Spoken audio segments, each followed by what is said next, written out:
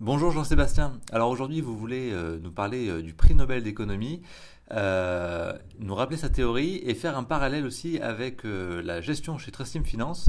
alors déjà, est-ce que vous pouvez nous rappeler sa théorie? Le prix Nobel d'économie cette année a été attribué à Richard Thaler, qui est un, théoricien de, l'émotion et du rapport de l'émotion aux prises de décision que peuvent prendre des agents, notamment des agents économiques sur les marchés financiers.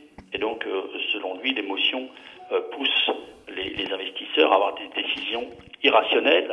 Euh, par exemple, il a proposé à, de nombreuses personnes euh, de choisir entre 50 euros à court terme ou 100 euros dans un an. La majorité des gens choisissent 50 euros aujourd'hui, alors que bah, la rentabilité des 50 euros supplémentaires est évidemment hors norme sur un an. Et en fait, les émotions nous poussent à faire des choix qui ne sont pas cohérents, qui ne sont pas rationnels et qui modifient l'échelle du temps. Donc euh, les agents sont perturbés, c'est ce qui pousse en fait euh, les, investisseurs à s'engager tous dans la même voie, donc à créer des bulles euh, ou à tous paniquer au même moment, donc à créer des cracks. Alors ça c'est pas nouveau hein, que les agents économiques soient influencés par leurs émotions, mais ce qui montre aussi c'est qu'on peut influencer ou du moins contrecarrer ces émotions.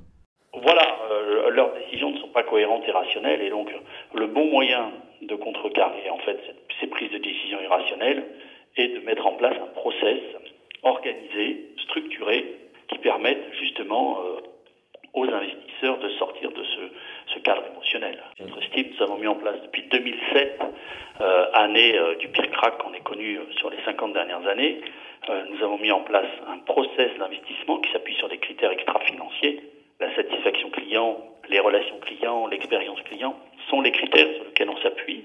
Et euh, ce process part du client pour euh, ensuite analyser les stratégies d'entreprise, à la fois côté client, relation client, fidélisation client, mais aussi les, les aspects financiers de l'entreprise.